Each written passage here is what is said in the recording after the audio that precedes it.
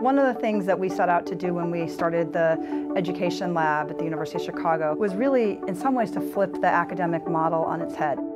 Instead of having academics sitting at a university coming up with ideas, take those academics, bring them into partnership with the nonprofits and with the school district to help test their ideas.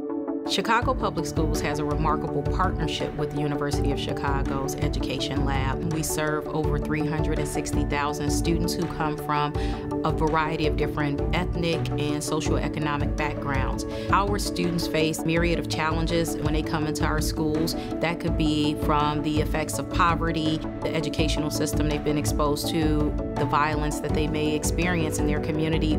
Education Lab provides us with a variety of research that we use every day. And the data and analysis of that data helps us to put together good plans for educating them, but also supporting their social and emotional needs outside of the classroom in order to make the kind of long-term progress that we want to make as a society to ensure that every kid is able to reach their full potential and opportunity, we need to be using data and evidence to understand of all the things that we're trying, which ones are actually moving the needle. And that's sort of the space that the Urban Education Lab is trying to fill, test the most innovative new ideas and generate knowledge that can help steer those larger public dollars.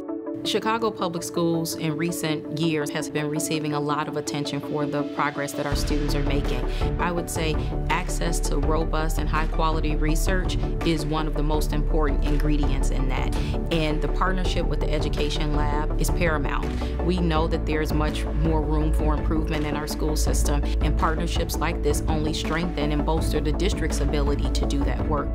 The Education Lab is committed to continuing to work with Chicago Public Schools to ensure that the kids in our city and cities across the country that too often are the ones left behind really do get the benefit of the progress being made in education and really have the opportunity for the future they deserve.